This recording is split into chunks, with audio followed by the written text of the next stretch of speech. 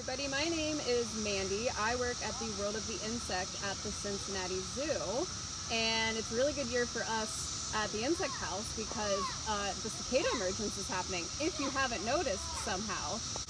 So we are on zoo grounds today and I'm standing in front of a tree that's really, really active with cicadas.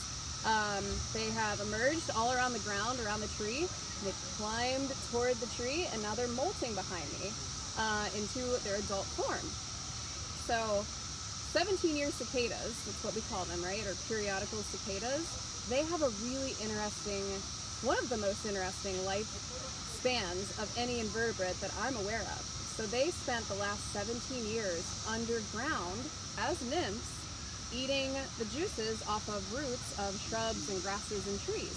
Uh, and then we're just lucky enough to be here on the day that they all emerge. Like we have cicadas that pop out every year, um, the bigger ones that you guys may have seen in your backyards, and those take a lot less than 17 years. And then we've got 13 year cicadas. There's a whole bunch of different types of cicadas.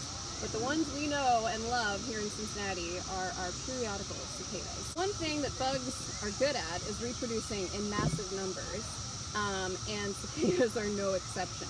So basically one of the main reasons that cicadas are so successful, and when I say successful I mean abundant, um, is because they reproduce in massive quantities.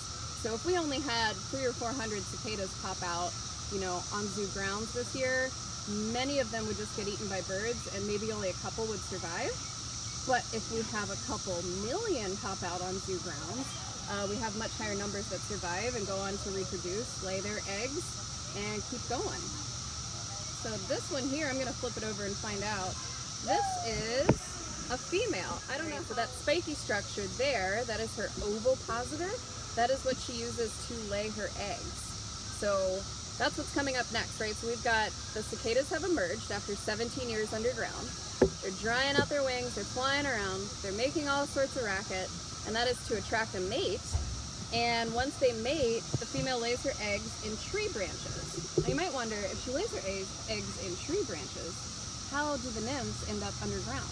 Well, what happens is a couple of weeks after she lays her eggs in the branches, um, the eggs will hatch and they will fall to the ground where the nymphs that are freshly hatched will start eating on things like grass roots. Um, so they eat roots that are really, really close to the surface of the ground at first until they get a little bit bigger and then they can go a little bit deeper. Also in my hand I have, I found on the ground here, a nymph that has not yet molted into an adult. You can see that. So this one just crawled out of the ground and in a minute here I'll put it on the tree so that it can molt.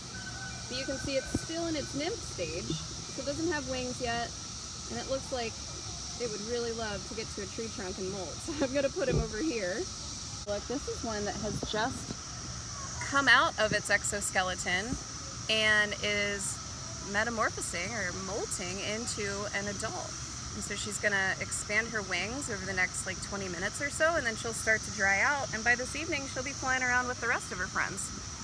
This is a male, so I don't have a female in my hands anymore, she flew away, but you can see that the end of his abdomen looks a lot different. Also, it's pretty subtle, but he is vibrating in my hand right now, and that is him trying to call. So he has this specialized structure called a timbal that he uses to make all this noise that we're hearing all over Cincinnati, right? And that's how they attract mates. All right, so you might be wondering if cicadas can cause harm to you or your pets or your trees or anything like that. And I'm here to tell you that they cannot. So cicadas do not bite, they do not sting, they cannot pinch you, uh, they might accidentally bump into you while they're flying because you've probably noticed they're pretty clumsy, um, but they cannot harm you in any way.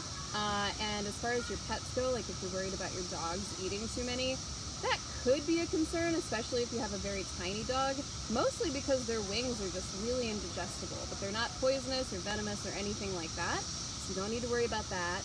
And as far as your plants, if you've got a beautiful garden in your backyard this year, it's going to be okay because they don't eat plants. They don't really eat as adults. They might suck a little bit of plant juices here and there, but you will never notice. It will never do any damage.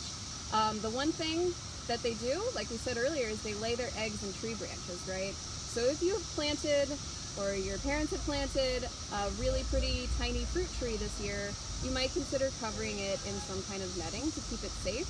Um, so that's about the only thing that is ever concerning about cicadas. And I know that they're a little scary because they don't really look uh, like us, and that's okay.